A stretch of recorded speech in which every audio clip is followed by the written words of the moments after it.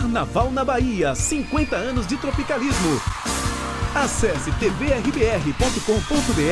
e acompanhe todos os detalhes da maior festa popular do planeta. É a Rede Baiana de Rádio no Carnaval de Salvador. Oferecimento Governo da Bahia, Terra Mãe do Brasil. Na Assembleia Legislativa, abre conversas para 2018? Não, não necessariamente. É, nós tivemos uma posição tática que eu considero não só muito inteligente, mas acima de tudo vitoriosa na Assembleia, né? E a eleição da Assembleia mostrou que a oposição está mais forte do que nunca, certo? Agora, o que, que vai ser 2018? Só 2018. É, eu acho que 2018 está na cabeça, tá certo, dos meus adversários, porque eu, em tese, eu só tenho que disputar uma outra eleição em 2022, em tese, né? Se eu decidir que vou cumprir os quatro anos do meu mandato, eu vou até 2020 como prefeito e aí a próxima eleição, caso eu queira disputar, é só em 2022.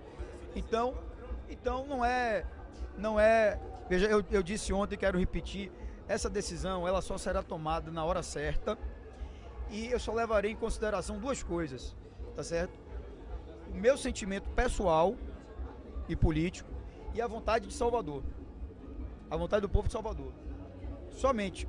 Não vou levar em consideração mais nada além disso, né?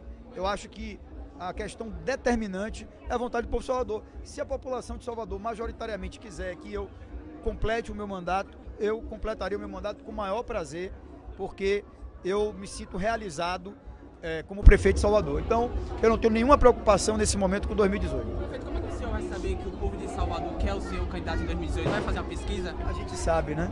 Prefeito, sobre economia local, você pode falar alguma coisa sobre isso? É o quê? Economia local, fortalecimento da economia local com o carnaval.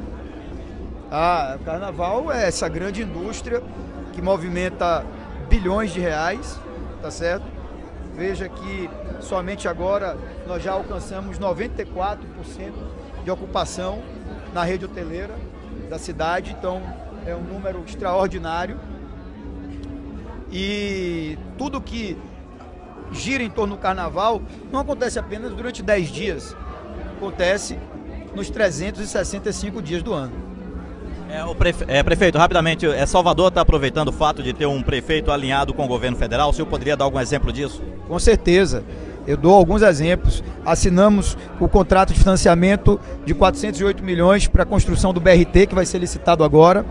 É, recebemos recursos importantes para a saúde no final do ano passado. 50 milhões de reais para a saúde. Agora vamos assinar um contrato de 105 milhões de dólares de financiamento com o Prodetur, com aval do governo federal. Né? Temos aí um conjunto de coisas e projetos que estão sendo tratados com o governo federal. Carnaval na Bahia, 50 anos de tropicalismo. Acesse tvrbr.com.br e acompanhe todos os detalhes da maior festa popular do planeta. É a Rede Baiana de Rádio no Carnaval de Salvador. Oferecimento Governo da Bahia, Terra Mãe do Brasil.